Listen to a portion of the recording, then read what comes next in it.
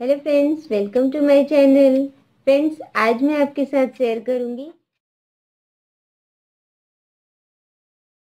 ये वाली अचार की रेसिपी ये मोटी वाली मिर्च है, ये इसी सीज़न में मिलता है। इसके बाद ये मिर्च नहीं मिलता है मार्केट में तो आप इसी वक्त इसका अचार बना के रख लीजिए। हम आधा किलो इस तरह की लाल मिर्च ले लेंगे और इसे हम इसकी डंडी को काट लेंगे। काट कर किसी पतली चीज़ से, किसी भी पतली चीज़ से आप या तो चम्मच ले लीजिए या फिर आप चाकू ले लीजिए। इसकी मदद से आप इसके सारे बीज को निकाल सकते हैं। इसी तरह हमें इसके सारे मिर्च को, मिर्च के दाने को निकाल लेना है। इस तरह से आप इसे हल्का सा हिलाते हुए इसके दाने को अच्छे से निकाल लीजिए।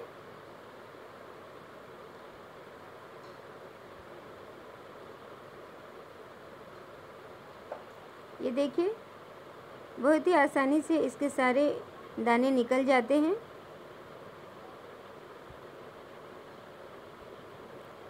अगर एक दो दाने रह भी जाए तो कोई बात नहीं है। आप इसे हिलाते हुए निकाल लीजिए। इस बीज को हमें फेंकना नहीं है, क्योंकि हम इसे मसाले में यूज़ कर लेंगे। अलग से मिर्च डालने की कोई ज़रूरत नहीं पड़ेगी। इसी तरह से हम सारे मिर्च को काट कर इसके सारे दाने को निकाल लेंगे।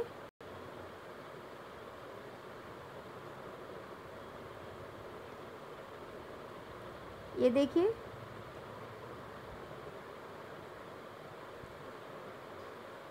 इसी तरह से आप इसे हल्का सा हिलाते हुए इसके सारे दाने को निकाल लीजिए।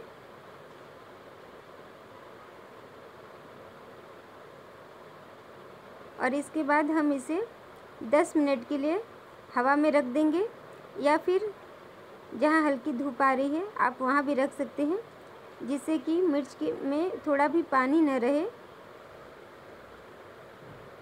और अचार अच्छी बनेगी, जिससे कि अचार ख़राब नहीं होगी। सारे मिर्च के दाने हमने निकाल लिए हैं, अब हम इसे 10 मिनट के लिए छोड़ देते हैं, ताकि इसकी पानी जो भी हो अच्छे से सूख जाए। इनको गर्म करेंगे मीडियम फ्लेम पर और इसमें डालेंगे हम धनिया। गोटा है गोटा धनिया हम लेंगे। ये देखिए, लगभग हमने चार चम्मच धनिया लिया है। अब हम इसमें डालेंगे एक चम्मच जीरा।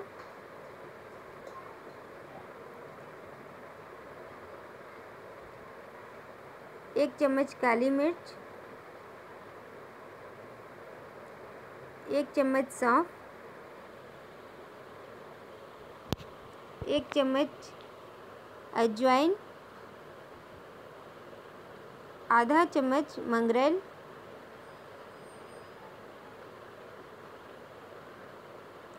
आधा चम्मच मेथी,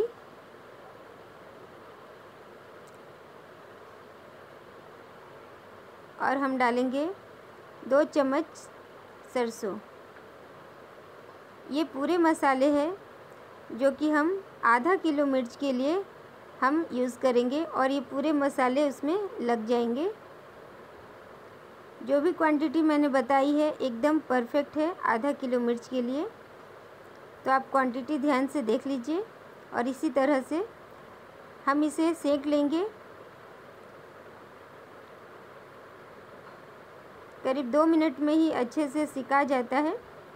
सीखने के बाद हम इसे ठंडा होने देंगे और फिर हम इस मसाले को मिक्सर में डालकर पीस लेंगे।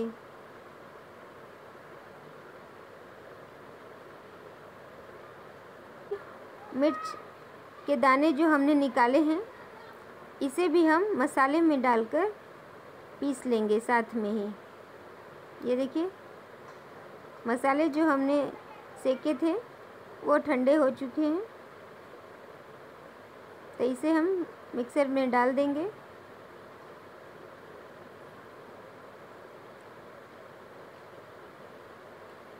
ध्यान रहे, जब भी आप मसाले पीसें अचार के लिए तो आप बहुत ज़्यादा पाउडर न बनाएँ थोड़ा सा मोटा आप रखें।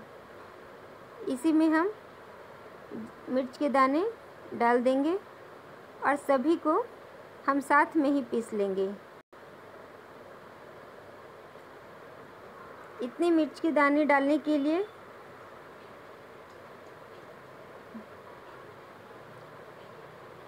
हमें इसमें अलग से मिर्च डालने की कोई ज़रूरत नहीं है।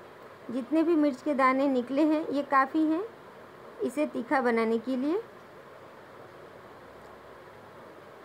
अगर फिर भी आपको लगता है तो आप थोड़ी सी मिर्च डाल सकते हैं।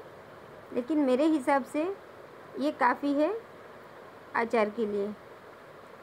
तो अब हम इसे अच्छे से पीस लेते हैं।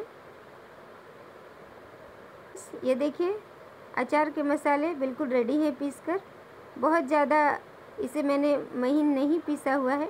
आप देख सकते हैं, हल्का सा ये मोटा लग रहा है।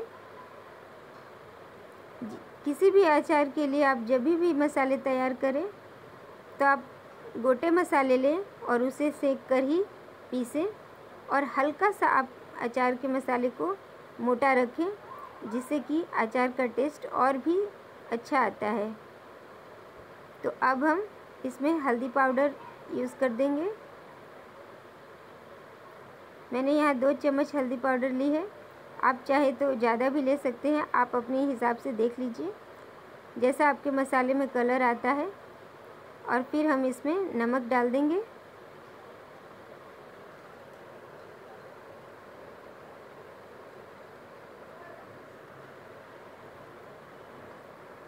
और इसमें हम आधा छोटा चम्मच डालेंगे आमचूर पाउडर। और इसे हम अच्छे से मिक्स कर देंगे सारे मसाले को। और इसके बाद हम इसमें तेल डालेंगे। फ्रेंड्स जब भी, भी आप अचार बनाएँ तो आप इसमें सरसों के ही तेल यूज़ करें जिससे अचार का स्वाद बहुत ही अच्छा आता है। किसी और तेल में आप अचार बनाएँगे तो वो इतना स्वादिष्ट नहीं बनता है। ये देखिए, अच्छे से मिक्स करने के बाद हम इसमें थोड़ा सा तेल डाल देंगे। तेल आपको बहुत ज़्यादा नहीं लेना है। ये देखिए, जितना में आप मसाले को अच्छे से मिक्स कर पाएँ, उसी हिसाब से आप तेल यूज़ करिए।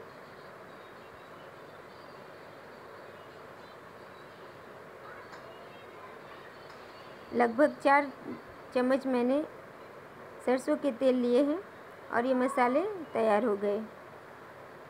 अब हम मिर्च को लेके हल्का हल्का सा मसाले को डालते जाएँगे। और किसी पतली चम्मच से या चाकू से आप इसे हल्का हल्का पुश करते जाइए। बस हमें इसे फिल कर देना है। सारी मिर्च को हमें मसाले से भर देना है।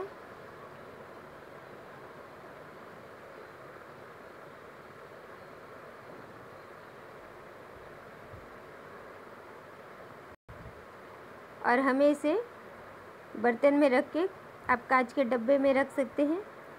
और इसे बहुत ज़्यादा टाइम नहीं लगता है तैयार होने में। आप इसे तीन से चार दिन तक आप इसे धूप में रखिए।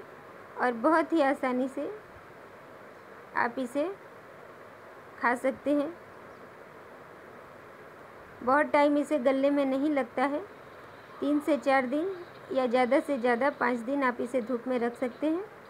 और इसके बाद अचार ये तैयार हो जाता है।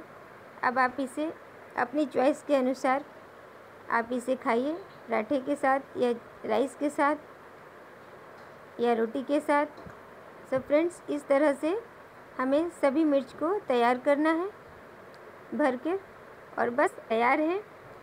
और ध्यान रहे, आप जब भी इसे बर्नी में रखें या डब्बे में रखें तो आपको अलग से तेल डालने की ज़रूरत नहीं है। सो so फ्रेंड्स, अगर आपने मेरे चैनल को सब्सक्राइब नहीं किया है तो सब्सक्राइब कर लीजिए, बेल आइकन ज़रूर दबाइएगा, जिससे कि नोटिफिकेशन आपको मिलती रहेगी। आप मेरे वीडियो सबसे पहले देख पाएँगे। तो फ्रेंड्स, मिलती हूँ नेक्स्ट वीडियो में। ऐसे ही कुछ और मज़ेदार रेसिपी के साथ।